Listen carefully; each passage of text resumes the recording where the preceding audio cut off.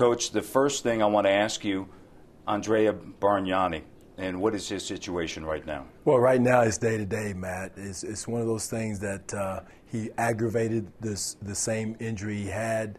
Um, I, I told him, you know, it was a, uh, it was pro- partly my fault because we're in the heat of battle. Probably played him too many minutes on consecutive nights.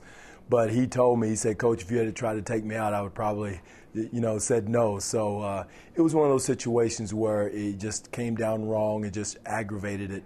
Uh, the the MRIs were negative, so there's nothing new. There's no new strain or, or tear or anything like that. So that was a, a positive. So it's how much he can, uh, how much pain he can endure when he comes back. Well, one of the positives actually is the fact that Andrea would tell you, Coach, if you wanted to take right. me out, I would not have come out. That is actually a sign of growth with him. No question. He was actually hurt that uh, he couldn't finish the game in, in, in, a double overtime game. He felt like he let me down, the teammates, his teammates down, most of all his teammates.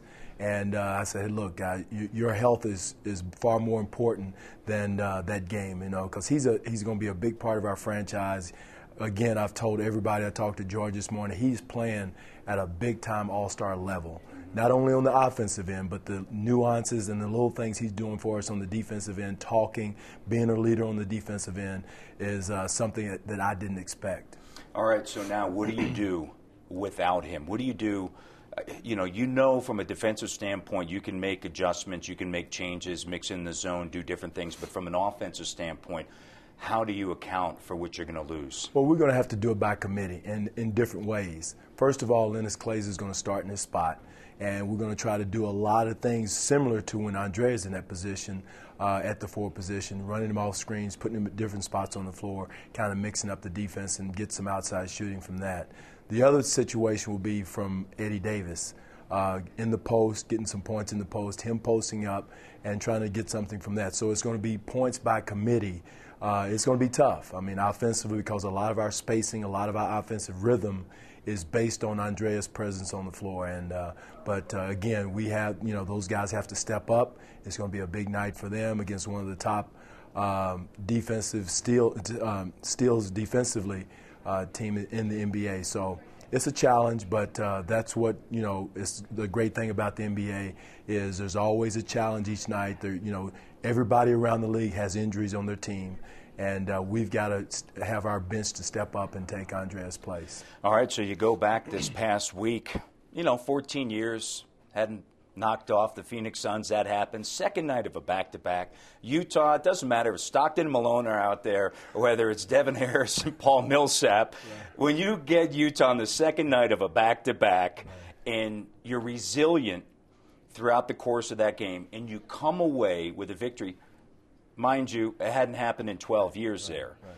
Uh, what does that say now about your team and what you're trying to get across to them? One thing, Matt, we're growing. That's the most important thing that I see. I saw so much growth with our zone defense, the guys communicating, talking, correcting themselves in our zone defense. I see the growth there. I see the growth internally as far, the, as, far as their fortitude is concerned, the toughness.